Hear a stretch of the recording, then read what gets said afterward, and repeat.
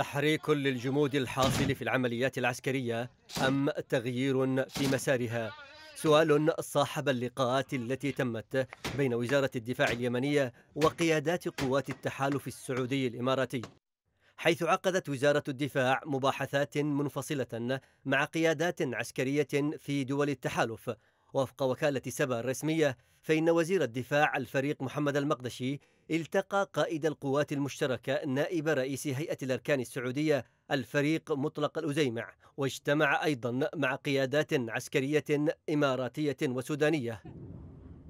بحسب سبأ الشرعية فإن الاجتماعات التي عقدتها وزارة الدفاع اليمنية مع دول التحالف انصبت لمناقشة تطورات العمليات العسكرية الميدانية في اليمن والمواجهات الجارية ضد ميليشيا الحوثي خصوصا تلك المحتدمة منها في مارب. وشكر وزير الدفاع المقدشي كالمعتاد دعم السعودية والتحالف للجيش اليمني في خطوط القتال عبر الإمداد والتدريب والتأهيل.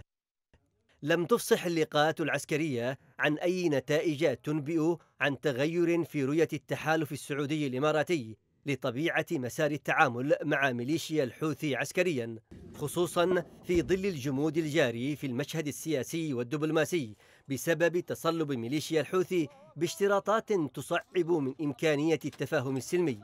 بالنسبة لعسكريين يمنيين فإن الرد العسكري على ميليشيا الحوثي لا يزال هو الخيار الواقعي لوضع حد لهجمات الحوثيين على مارب إلا أن تنشيط العمليات الميدانية للجيش يحتاج لقرار سياسي من الشرعية التي فيما هو واضح مرتبطة بحسابات السعودية فيما الأخيرة وفق مراقبين أضحت تفضل مسار الدبلوماسية وهو مسار يحظى بإجماع واشنطن ولندن وبقية الدول العشر الراعية للسلام في اليمن.